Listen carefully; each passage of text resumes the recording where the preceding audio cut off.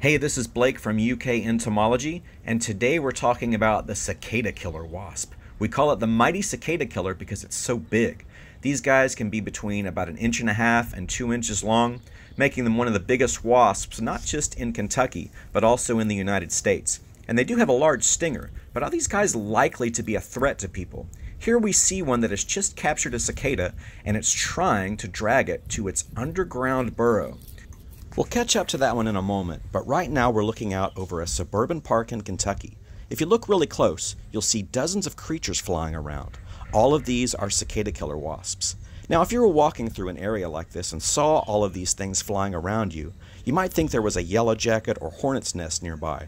But unlike those creatures, which live in large social hives, cicada killers are solitary. They live alone in single burrows. Solitary wasps, like cicada killers, are much less likely to sting than hive dwelling hornets or yellow jackets, which can launch an aggressive group campaign to defend their hives. So even though a bunch of cicada killers might live in the same area, they don't actually work together like social wasps do. Now, sometimes these guys can be pretty bold. They might even get up close to your face or even your camera to take a close peek, but even then, they are highly unlikely to try to sting you. So now we're back with that female who is still trying to drag that cicada that she captured and stung back to her burrow. But she needs a little help. Despite their large size, cicada killers aren't strong enough to fly and carry a cicada at the same time. So instead of dragging the cicada all the way back home, which might be 10 or 20 yards or more from where she captured the cicada, she'll climb a tree. There she'll find a branch that's a few feet off the ground and launch herself from it, using the height to glide back to her burrow. There, she'll bury the cicada underground with her worm like larvae, who will feed on the cicada until they are ready to pupate.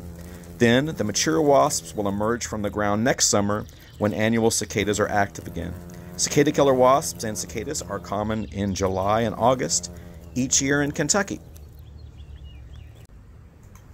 Sometimes these creatures will find other objects to climb instead of a tree. This one found my leg before it was able to find a tree, and so it decided to climb me instead as a way to get back to its burrow. But even in a situation like this, where you've got a cicada killer on your body, they're highly unlikely to sting you unless you swat at them or scare them in some way. Eventually, it'll probably decide that you're not a tree and fly away. They just want to get back to their burrows to feed their babies. So this is what the burrow looks like. Um, it's sort of a, uh, an area where they've dug out some fresh dirt and built a fairly large hole, and that's where they'll put both their babies and their cicadas. Now, cicada killers do look an awful lot like hornets. They look like both our European hornet, which is common in Kentucky, and the so called Asian giant hornet, which hasn't been found in Kentucky as of summer 2020. We encourage people to learn the difference between these things because something like a hornet can be a little more dangerous than something like a cicada killer, especially if you're close to the nest of a hornet. So, in an area like a public park or a golf course where cicada killers are flying, control options are available to try to reduce their numbers, but another option would be an educational approach. You could put up a sign explaining the difference between hornets and cicada killers and why cicada killers are less likely to sting. We've got fact sheets that talk about both the cicada killer and hornets, and we encourage you to visit those to learn more about these creatures.